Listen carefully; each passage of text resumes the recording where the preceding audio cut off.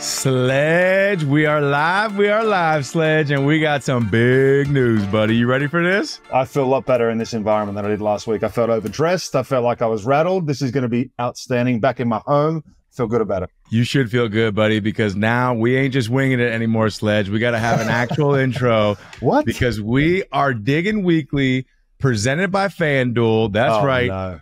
Head to fanduel.com slash diggin, D I G G I N, to bet along with us on America's number one sportsbook, Sledge. FanDuel is giving us the keys.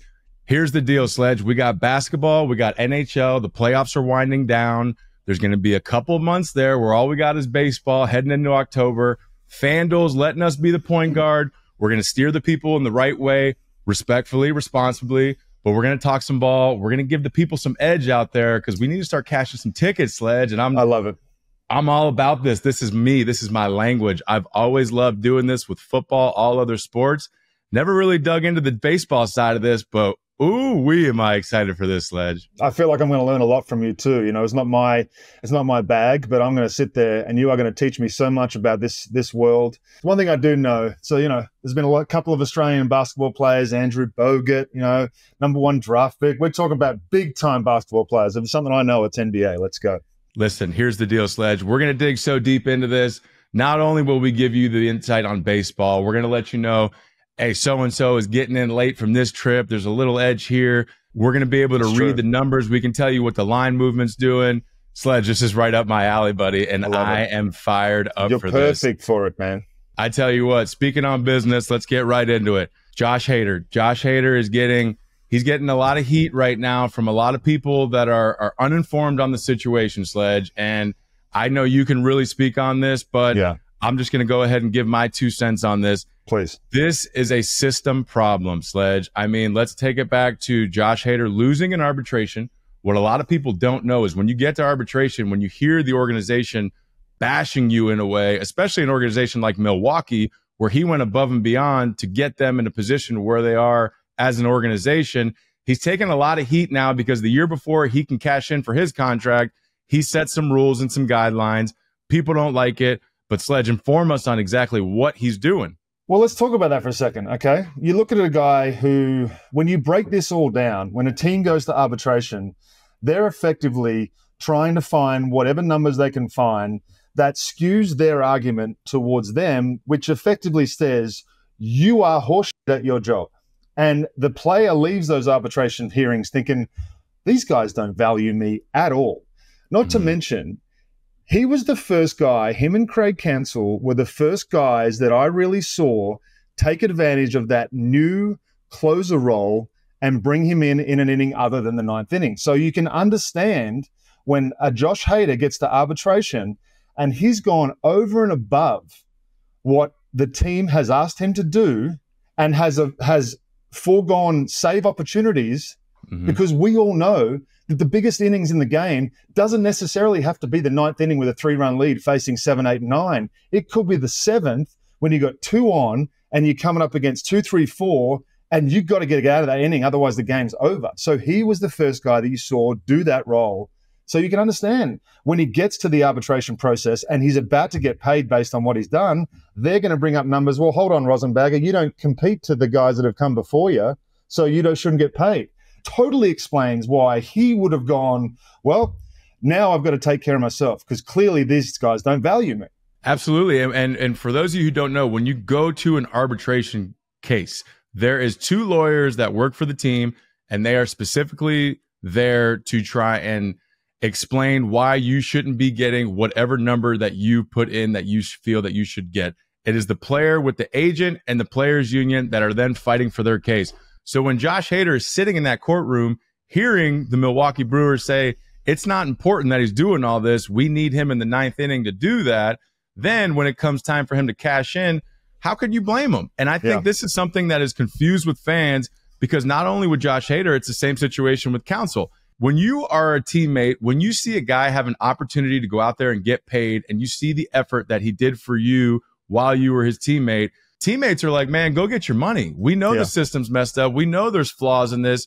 Go get your money. So it's going to be interesting because we are going to have some people on from San Diego, from the Padres. I know yeah. they felt a certain way about the situation. So it'll be really cool to kind of hear their perspective, hear where they are. But I will say this, and this is, I am firm with this statement. There is a lot of guys that I respect around the league that have played with Josh Hader, and they have nothing but the best things to say about him as a teammate, a competitor, all the above just go look at his numbers when he first came in the league. He was as good as it gets, and his numbers, bar a little two month period in his career, he they're as good as it gets. I just want to throw something at you right here, Hoz, that, that kind of speaks to the whole problem in general. In 2013, the 30 teams across MLB used 513 relievers. Last season, 651 pitched in the major leagues and an increase of more than 25% over the decade, and most of them, many of them, close or at minimum wage. So it's like, it's basically, and you look at my case, okay? I don't want to say, oh, poor me. Every time it got to the point where I was about to get paid, I was dealing with an injury. So it was, and you look at my numbers, the, the amount of numbers that I pitched in when I was healthy, I was not in a position where I could walk in and go, hey, I'm not pitching. Because if I didn't say yes, I'm getting sent back to the bushes and yeah. I'm going to be pitching in AAA. So not everybody has Josh Hader's ability to just walk in and say, hey, I'm the best reliever that's ever shown up and I'm going to have this. But if you do, I, as a guy that dealt with more injuries than anybody and basically made league minimum my whole career, I can understand why he's doing it. Yeah, and I will say this, man. Again, it isn't. It might be an unpopular take, but but what Josh Hader did, it takes courage to be that. It takes courage to stand up and say, "Hey, listen, I'm going to change this as a whole for the position." Kudos to Hader out there. I know he's sure. turned it on. He's out there in Houston. Yep. And and all that plays a factor when he's a free agent. The Yankees, the Dodgers, Houston, these guys are all in your market coming up. So it was well played on him. I know some of the teammates, some of the fans might not think that, but at the end of the day, you you have to you have to respect the move there on what he did. And and speaking of closers, we're getting close to now that point in time in the year where teams are starting to decide, okay, are we going to go for this or are we going to sell at the deadline? Yeah. And man, Sledge, I was just out there in Kansas City and the energy in the stadium is back. The Let's Go Royals chants are there for the final three outs. And I'm telling you right now, Sledge, this team is a move or two away from being back in October and doing what they do. And I cannot wait for it. Crazy to think that they had a list of things that they wanted to accomplish in the offseason. They were one of the major guys going out there and spending money on veteran guys. They've gone out and got Seth Lugo. He's going off his face. Salvador Perez, he's picked it up on a level that you've never seen from him. The team is rolling. You know what it's like when you get in an environment like that. You know what Kansas City's like when you get rolling in Kansas City. Anybody mm-hmm. can explain it to you man, seeing seeing those guys do what they're doing, it's it's pretty exciting. They're the only they're the only division that's got two teams with 30 plus wins. And you got to look at it, you think it's the Guardians and it's the Royals. Not a not a chance I would have said that even a month ago. Not at all. And I tell you what, I know the fans are upset with us right now, but they need to be upset at FanDuel because if we had this deal at the beginning of the year, we're hammering Royals futures odds to make the playoffs because there we go again, Sledge. You look on certain websites that type in the formula and, and, and calculate everything out. Kansas City was a 13% chance to make the playoffs, and now they're over 50% chance. So those future odds at the beginning of the year must have been through the roof. But I'm telling you, Sledge, it was a different energy out there. And one big thing that I will say from watching the games in the years past, I know there was a lot of frustration. The guys want to win, especially with Salvy. Salvy is right up there on the top step of every homer. He's jumping right out there for every double, doing their signals. We got a chance to walk in the locker room, see how the guys interact. Those guys are enjoying being around each other. They're saying they're going to dinner every time on the road. I'm telling you, Sledge, they got everybody in that organization pulling on the same rope. And I think there's going to be something special out there in Kansas City going down. They're not just doing it with, you know, they're not being saved by one or two particular guys. They're doing it across the whole the whole spectrum. The starting rotation's been pretty incredible, honestly. Mm-hmm. Bobby Witt is playing at an MVP caliber. He hit a ball into the into the drink, into the fountains in in in left center, in left center, and it was a ball down and in. It was like he's he's nuts. That team is exciting. Can't wait to see how they finish this thing off. Man, I tell you what, he that that ball in left center, he is hitting baseballs that I didn't even see people hit in batting practice. And we all know there are certain areas in batting practice where, yeah, I seen him, I seen him go up there. But what he's doing now is is really unbelievable, man. And we talked to him before the year. We were all super, super high on him. I think we were all pretty confident he was going to go out there, have a good year. But for me, the way he's leading that team. He's he's being himself. He's got his quote. The boys are playing some ball out yeah. there. He's just himself, man. He's not going above and beyond trying to be this guy. He's not. He's taking care of business on the field. He's doing his stuff in the locker room with the guys, and it really shows. It really does, man. And that's something special with teams too. Is when you have starting pitchers that now have almost have a secret competition amongst each other to go out there and outdo each other night in and night out.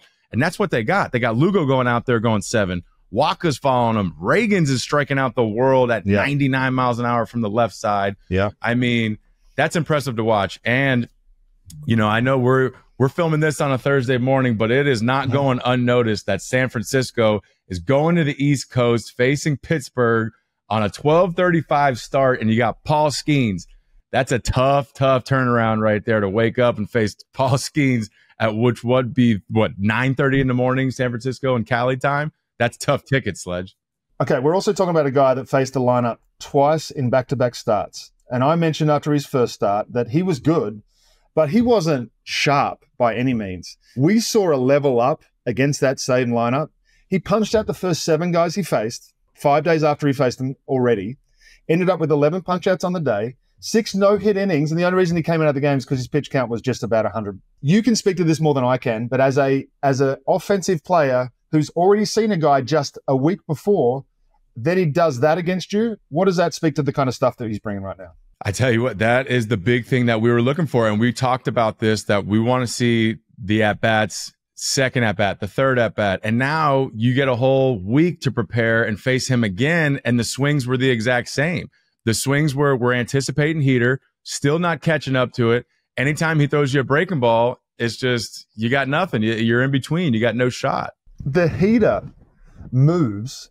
I was watching some of those fastballs in four seam fastballs, by the way, into lefties that are starting off the plate, and he's getting like front door run on a four seam fastball which is something that is just unheard of. And the swings are just, they're missing by inches. Yes. And I tell you what, you look at right now, you look at the NL rookie of the year, you look at those future odds. Shota out there in Chicago is, is virtually unhittable right now. And he needs to be very good throughout the rest of the year or just maintain some kind of average level. And there's a good chance he's got it. But I'm telling you, Skenes with this matchup today, he goes out there, he gets another seven, eight punchies those odds are going to look better and better for Skenes. So that's something that that we all got to jump on now because with the hype and all the strikeouts, he's going to be right up there in the mix for for NL Rookie of the Year, and I'm here for it. Two starts in, if you were to average out the two starts, and as mu- much of improvement as we saw from him based on one start to the next, I can't imagine once he gets fully comfortable at this level what the numbers are going to look like from here to the end of the year. So it's going to be a race between those two, but my money's probably on probably on Skenes if I'm honest. I mean, no question. And that's what's so fun about what we're about to get into right now because it's like is Paul Skenes going to be an all-star? Are there odds for that? Can we hit up FanDuel and be like, "Yo, is there odds for this?" And we can make that happen. So it's going to be fun too to interact with fans out there. Give us something that you want to see on the betting board, on a futures board, whatever it is and we can find a way to hammer that down. So I don't know if we're going to do it. I don't know if we can promise to make it happen, but we know a guy sledge, and we're definitely going to try. We're damn sure going to try. That is absolutely outstanding. That's they did it with Harper, man. They remember Harper's first year. He made such an impact that the All Star was like, "Hey, man, we got to have this kid at the All Star game." So don't be surprised. Yes, yes, and that is. I tell you what. So let's real quick on that All Star game. That was 2012, and that was in Kansas City. There's been a couple conversations, especially out in Kansas City for this reunion, about pitchers and how the starting pitcher's mindset has changed and all of that. I think a very good example that everyone kind of misses is that 2012 All Star game when Justin Verlander started. If you remember back then when Justin Verlander was on Detroit, he was a guy first time through the lineup. It's going to be 93 to 95. It's going to be majority heaters. He's going to have that 100, that 99 in the tank for when a big situation comes, second and third, seventh inning, two outs. Boom, I need to get out of it. That 2012 All Star game, he went up to Ned Yost and Ned told us, he said, These people don't want to watch me throw 93, 94 miles an hour. They want to watch me throw gas. I'm going to go out there, put on a show. He went out there. He was like 100 to 101 for the first inning, got hit around a little bit, but that just told you how he went out of his game. But the mindset now of a starting pitcher, that's kind of where we're at. It's strikeouts, yeah. it's get through five. But there's teams now, especially these last two weeks, Kansas City, there's been some starting pitching. There's been some outings that have gone six, seven. That seems like we might be turning a corner a little bit, Sledge, and I'm here for it. Not to be a Braves homer, but we're seeing it with Chris Sale week after week. He's going seven innings. Max Fried, another quick complete game sh- last night. Gave up two runs, but was complete game under 100 pitches. Second time this year. Walker Buehler came back from his injury, starts talking about the fact that, hey, man, I don't have to pitch at 97 all the time. I can be effective at 94, 93, and it's still in the tank when I need it. You're 100% right. Guys are thinking their way through baseball games and they're seeing success by relying on some contact. Max Fried could punch out the world if he wants to, but he's said in interviews, I've gone back to who I am. I'm pitching a contact. I'm relying on my defense and I'm getting through games with efficiency. What a concept. what a concept. And I tell you what, as we mentioned the 2014 ALCS reunion. We were just out in Kansas City celebrating. The boys put on a show for us. They swept Oakland. Salvy hit a couple homers. Salvy was three for three, pointing up at the suite, showing us oh, love. Man. I mean, you talk about an epic weekend. It was three days of straight belly laughing, open bar, taking a bus to another open bar. The boys were having a good time talking shop. I got through it, Sledge. I made it the first day. I was, whew, I didn't make it the first night, Sledge. I had to go home a little early. I wasn't walking straight. But after that, day two and three, I finished strong, and you would have been proud of my performance. I'm glad you were able to pick it up. I know it's been a while since you've had to have a touch and go session, but I'm glad you were able to pick it up for three days. You know, it's been we've been out of the game for a little while, Hoz. Those things that you know it was pretty epic, but to see those guys again, I mean, what memories you guys have had over the course of those two years, and to couple it with the momentum that the current KC team has, what a feeling for even everybody who showed up. You're also inducted into a Hall of Fame, weren't you? Yeah, that was pretty cool as well. I got to give a little couple shout outs during the speech. I got to recognize Dayton Moore, got to thank him for everything. So that was fun. Just a fun time to be back in Kansas City. It really is always special to be back there, celebrate with the fans. It was the same energy as 2014. You can yeah. feel it. You can feel when the stadium started to get more packed, fans started to get a little more into it, and the fans are walking around there confident. I mean, they're walking around with Bobby Witt Jr jerseys. They're, they got two buttons open. They're walking around with their chest out. Hey, they're feeling confident about their team right now. Gotta love it. I'll tell you one thing that I did notice because I was there in 16, right? The year, the year after you guys won it. Mm-hmm. And to see the the way that Kansas City embraced you guys throughout that run and then obviously after it, every Starbucks was blue. Every single street sign had blue paint on it. Everybody was wearing royal shirts. You couldn't leave your house and it was just a sea of royal blue everywhere. It was just nuts to really see that. It was. It really was. And some of these teams now, like we said earlier, are getting to that point in the season where, okay, we need to add some pieces before the deadline. Houston right back up in the mix. I mean, Crazy. who who are some of these guys at the deadline? Who are some of these moves? Who are some of these teams that are going to go out there and make that move? Because I feel like at this point in time, it's it's a couple bullpen pieces away for a lot of teams. Exactly. It's either it's, it's a lot of pitching. You can see that there's going to be pitching is going to be high on the list of priorities for guys, which it always is and always seems to be. That's when that Mason Miller conversation comes into it. How much are you willing to give up from your farm system to go out and get a potential shutdown closer for the for the playoff run, which can be so important. You see that the Braves relied so heavily on their bullpen the year they won it, and a lot of you guys did too. The Royals invented that, so yeah. you know, you've, the teams have seen that once you get into the playoffs, if you can find yourself three, four, five guys out in that bullpen, you can shut it down after five innings. So man, it's going to be. We've started that process a little earlier this year with the Arraez trade. I think that's going to push guys to maybe make some decisions a bit quicker, but the turner St. Louis is eight two in their last ten. Like there's teams mm. that are turning it around. The Yankees are firing right now you know, yeah. there's some good there's some good baseball teams and there's some surprising surprising baseball teams, which is great. Yes, perfect. So the Yankees and St. Louis, both both key matchups here. I'm going to look at in the weekend. St. Louis going to Chicago. They're playing the Cubs. That's a huge, huge series out there. They're ending it up with Sunday night baseball. Couple good pitching matchups, or at least St. Louis is drawing. They're getting Shota. They're getting Jameson Taillon. But I will say, Sledge, those division matchups, there's a lot of familiarity there. The hitters, anytime there's familiarity, that's a tough word to say. Familiar, how do you help me out when, with that? When you're used to seeing somebody a couple of when times, when you're used to that, we're just going to say that when you're used to I'm seeing Australian, someone, no it's advantage, it. it's advantage hitter, right? It's yep. advantage hitter. So yes, these Cubbies, they got some good numbers in their starting staff, but I would look for the overs that whole entire series. Check the weather if the weather is good in Wrigley, the ball's going to be flying. Yeah. These hitters have had plenty of looks against these guys. I think there's going to be a lot of runs scored that weekend. And then the Yankees heading to San Diego. I think that's going to be a very, very good matchup. Little uh, 97 Soto. World Series rewind right there. Juan Soto, you know, didn't have the best day in San Diego, and the fans definitely will know will let you know about that if you didn't have the best day out there. Trust me, they will let you know that? about that. so I will say, watch out for Juan Soto. Watch out for him to have a big series out there. He's feeling himself. He just looks right in the net in the in the New York pinstripes. He does. He's going to be shuffling out of control. Look for Juan Soto to do some damage out there. I would definitely look at some homer props, whatever that is. And Sledge, Speaking of Homer props, do you know what they call Kyle Tucker out there in Houston? King I don't. Tuck. King Tuck, and rightfully so, dude.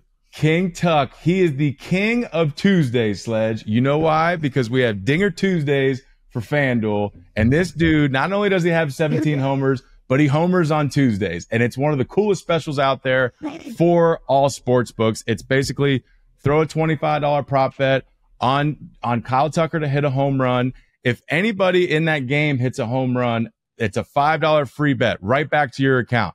So you can literally get all the way back up to that $25 and hit big if Kyle Tucker ends up hitting a homer. So Kyle Tucker, he's the king of Tuesday because he is all about dingers. Love that. Hey, have you ever changed your shoes mid at bat and gone back and had oh over three first couple of at bats? Change your shoes and sleeve, Kyle Tucker, two tanks the very next two at bats. I mean, I wish I would have knew about this because I would have been changing shoes left and right. My gosh. I mean, that would have been super useful. Would have been. I needed it. Needed it hard. You needed. Need you need to throw out a shout out to you, Xander Bogaerts. Tough shoulder injury for him over the weekend versus the Bravos. Yes. He's going to be out for too. a while. Yes, and that's that's something that you look at. Having played with Xander, you know, Xander takes a lot of balls off the wrist, off you know each and every place that he can take a ball, and he usually gets right back up. He's one of the tougher players that I've seen. So to see him down for a while, you knew it was something serious. It was a full extension dive, trying to make a play for the team. Um, that's a big blow for them out there. Hopefully he can get back. And I will say this: if he is able to get back, and the Padres are in a run, in a September run, hopefully play baseball in October, Xander has an opportunity to wipe out this whole entire bad start, play some good baseball down the stretch ball out in the postseason, and that'll really, really change the narrative for him in San Diego. And I kind of hope that happens. No one's going to remember what happened the first three months if you come back and make it the playoffs and do what you just suggested. That's going to ch- change the whole season for him. What do we have coming up this week? We got a lot coming up this week. Not only not only are we doing actual intros now because we're sponsored, no big deal, but we got the Su'a episode that just came out. I think everyone has taken such a likening to Su'a, understanding how good of a dude he is. That process and development job, that role for organizations all over sports has become yeah. so big.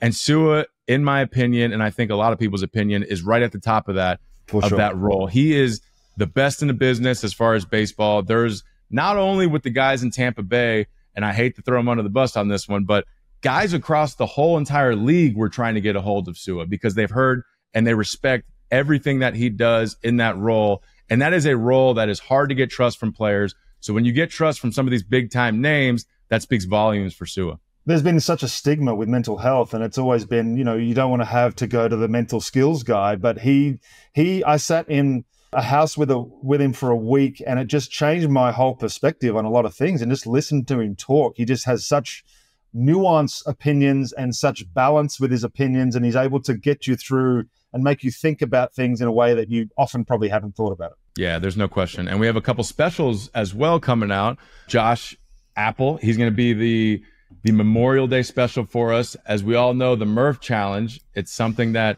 a lot of people on this day, on Memorial Day weekend, they try and get the whole challenge in. And I might be wrong on this sledge, but it's, you know, you got to run some miles. You got to, it's a tough workout, pull ups, push ups, the whole deal. We we uh, we did make a promise during that interview, but I feel like I've done a little bit of a meniscus, so I'm not going to be able to compete in it this year. But I guarantee you, at some point, we, you and I, are going to have to do that challenge, and we're going to have to face up to it. Yeah, if I would have passed the physical, I would have been out there. I would have had the stopwatch, maybe even the headphones, and I would have been locked in. But Josh, that's on me. Next year, I will be healthy, and I tell you what, I will really think about doing this. But that's something that maybe, hey, maybe, maybe the whole digging deep squad, maybe at some point in time, you know, we all put that as our goal, and that's something that we all accomplish together. That'd be that'd be some that'd be pretty cool for Josh to uh, show yeah. him some love. But also, Sledge, another special. We have a special with Scott Boras, the the baseball agent in all of the land. He's the most famous baseball agent out there, but this is going to be a specific conversation